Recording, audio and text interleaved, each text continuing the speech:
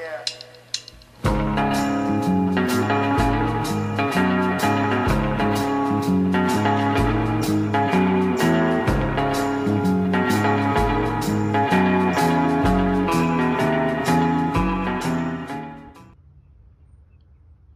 how's it going, everyone?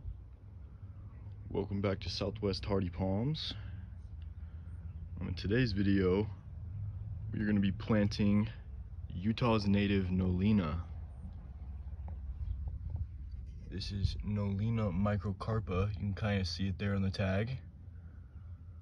Um, this is a really awesome Utah native plant. Um, it's also known as the bear grass um, and it's related to yuccas, agaves, hesperaloes. You know, it's in that uh that family. Um, I'm gonna be putting it right here where these uh ugly daffodils are. So we're taking this out. Um, putting it in front of this uh, rock here, it should fill up this whole space here. Um, it gets to a pretty nice size. It gets about six feet tall and six feet wide in uh, maturity It doesn't really get a trunk on this species. Um, I mean, it may in the wild on really old specimens, but uh, usually they don't really form a trunk. But they have those uh, really characteristic, you know, curly Q ends um, on the end of each leaf, which is really, really beautiful. Um, staple plant in all of the Southwest, really popular in Utah as well. Um, so I'll be getting this guy in the ground. Um, I am going to amend the soil slightly for this species, even though it is a native um, species.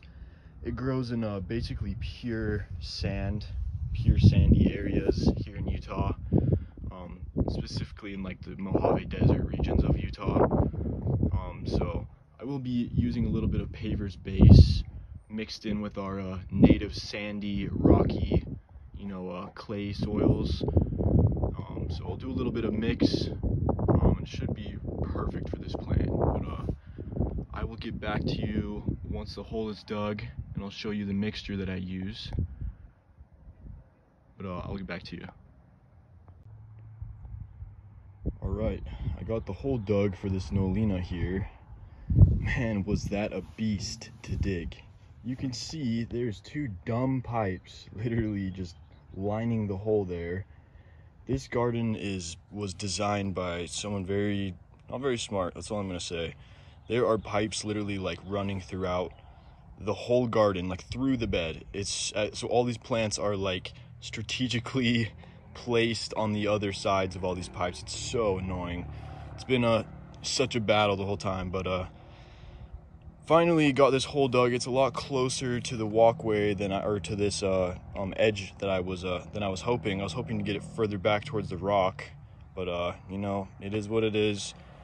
Uh, so we'll get that in the ground. I've uh, filled this hole with uh, pure paver sand. That's what I use um, mostly.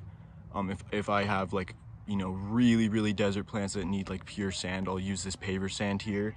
Um, so uh, I'm gonna be mixing our pure or like our native soil here. You can see this is our dry native sandy soil with clay and stuff in it. I'll be mixing this with that paver sand um, in this hole for this Nolina. So we'll get a really great uh, drainage. Also mixing a little bit of this uh, nice uh, potting soil with perlite in it. Um, so we can uh, uh, get a little bit of nutrients in the soil as well because our soil is very depleted of anything basically. Besides uh, salt salt and uh, alkalinity. So we'll get that in the ground and uh, I'll get back to you. All right I got this beautiful little specimen in the ground here pretty happy with its position now that I'm looking at it it should have plenty of room to grow um, and get to its full potential, which uh, should take a pretty long time. They're kind of slow growing plants. But uh, another Utah native added to the to the garden here.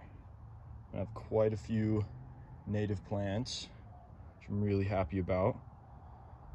Um, I will add a picture of this plant when it's full grown. You can see it's uh, not a huge Nolina, but they have uh, really pretty flowers kind of look like uh, corn stalks a little bit. Uh, pretty similar to Dasylirion blooms, but uh, just a really awesome native um, yucca and agave relative. Um, the leaves are very uh, serrated, so if you run your finger on it, you can definitely cut your finger. Uh, it's kind of like sawgrass, basically. That's probably why it's called bear grass, because it cuts you up, I'm guessing. But, uh, really pleased with this guy. And, uh, should add quite a bit of beauty to the garden here. But uh, I appreciate you guys watching. Take care.